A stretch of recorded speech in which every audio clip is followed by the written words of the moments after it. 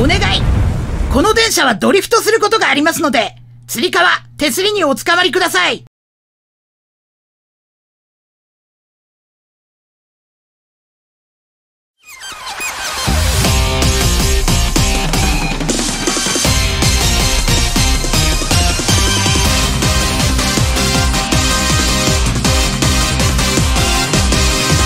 甘い夢を描く現実の速さまよって進む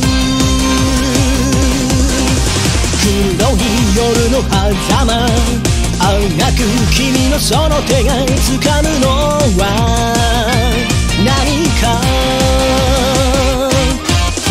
弱気を抑えてと震える手に指を絡めた。価値なんて捨ててよ今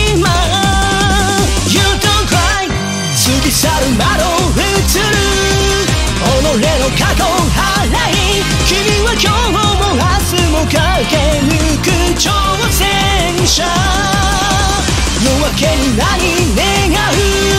その想いも捨てて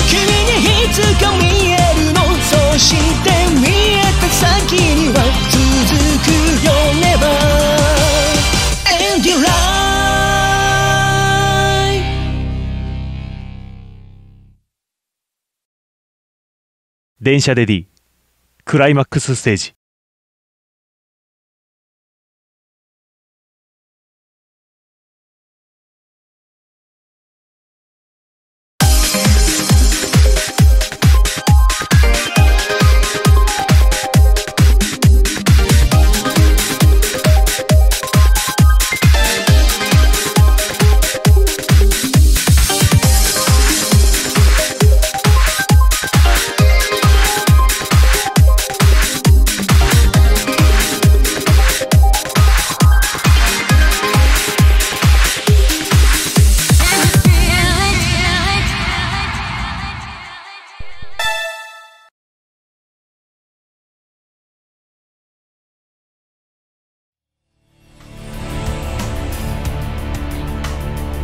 俺さ今夜バトルするんだ。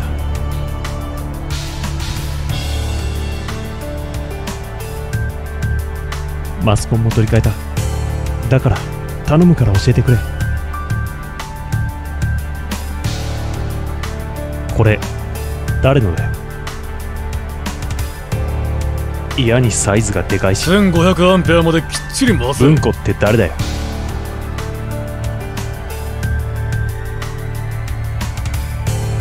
狭い上に見通しが悪いから危ないの。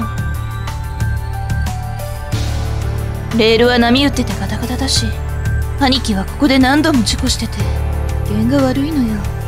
イノシシとか鹿とかクマとか。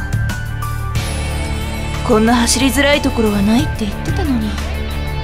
昼間通っても薄気味悪いから私は大嫌い。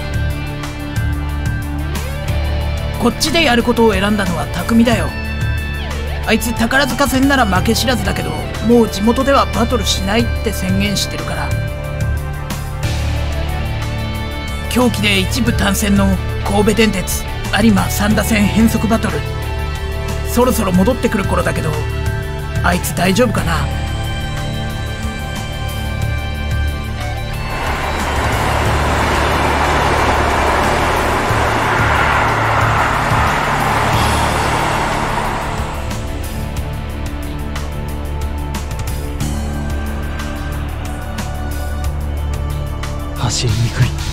何なんだここは。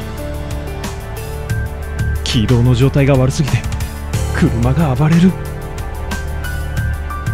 しかも向こうはまだ本気じゃない。遊んでる。そっちはこのコースを知らない。1本目から全開じゃフェアじゃねえからな。バカにして遊んでるわけじゃないぜ。本当のバトルは2本目から始まるんだ。戻ってきた。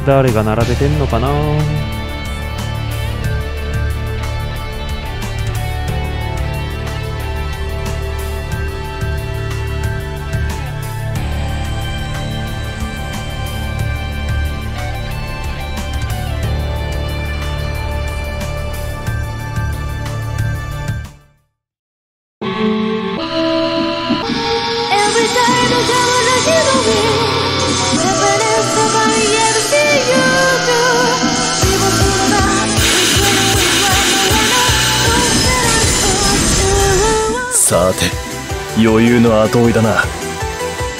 見せてもらうぜ。人報戦で負けなしと言われた。実力の片鱗をな。そう。こんなコースじゃ。いくら無理して攻めても後ろの2800をちぎれる気がしない。とにかくこっちが後追いになった時死ぬ気で食いついていくしかない。次に向こうが本気になった時どうなるかわかんねえけどな。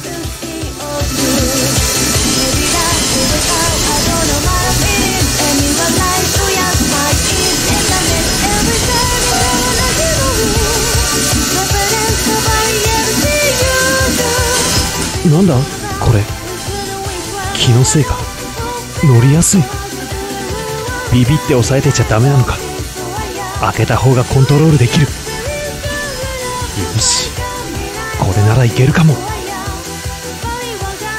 足回りのセッティングってやつは出力とのバランスで変わっていく。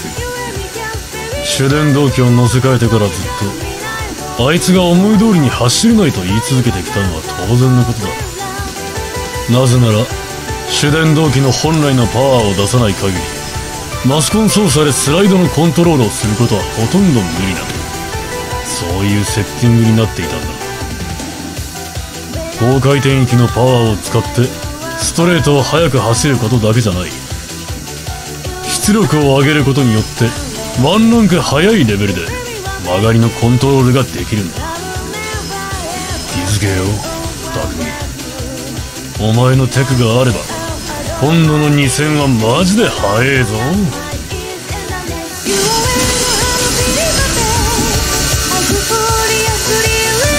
北スズランダイを流しっぱなしでクリアかよ。初めてこう走るやつの走りじゃねえな。2本目は高みの見物を決め込むつもりだったがとんでもねえやつだ。峠で速いやつが一番かっこいいんだ。いけてるぜお前。しびれまくるぜ。世の中にはすげえやつがいる。負けねえぞ。タフなバトルになるぜこいつは。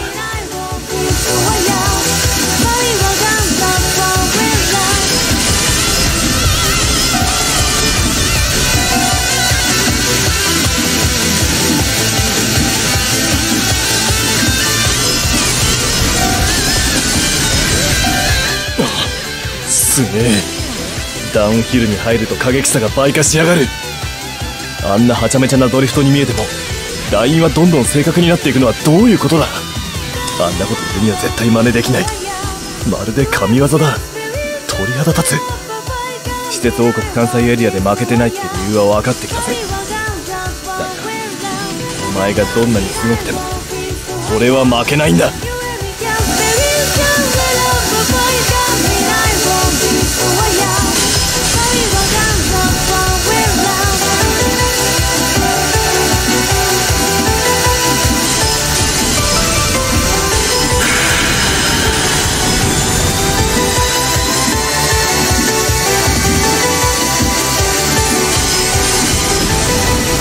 俺のモチベーションはめちゃめちゃ高えぜ。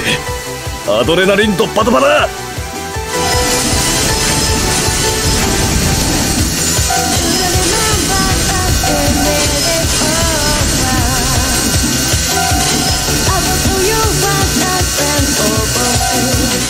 本当に面白くなるのはここからだぜ。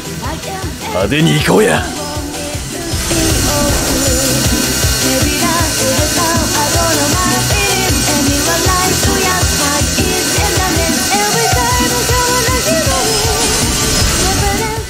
しみったれた走りに変わりやがったらケツからドカンとやるぜ。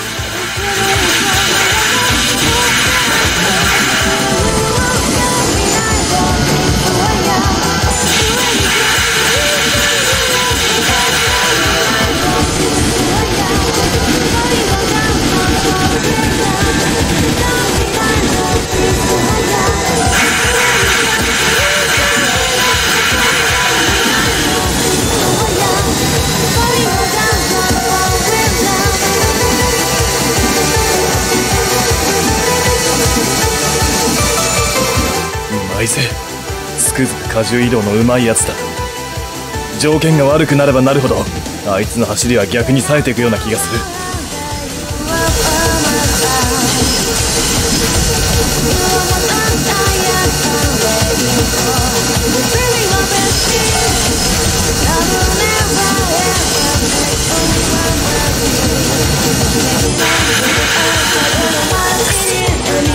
関西エリアで負けなしって意味が分かったぜいつきくん、私ね。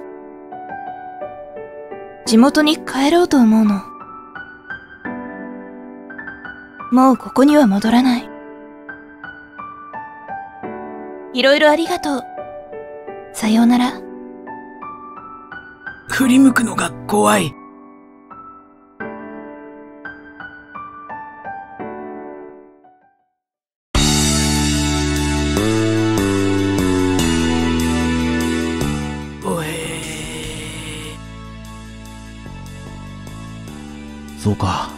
なことが？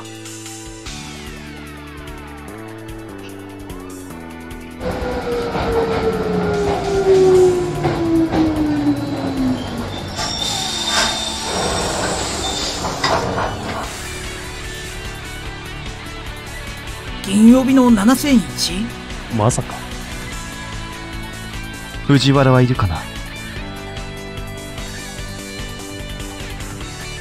話したいことがあるんだけど、勤務が明けたら会えないか聖望似合わねええどうせ暇だから終わったら電話をくれ。番号はこちら。24時間いつでもどうぞ。090-7001の FC3S。お電話お待ちしてます。電車で？D。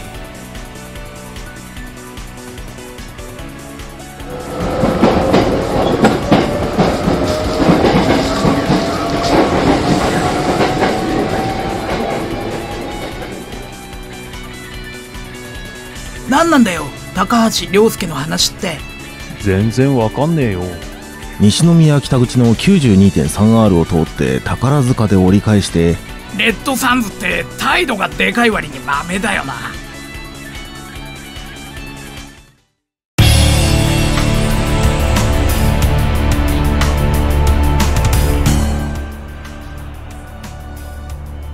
タエリア遠征？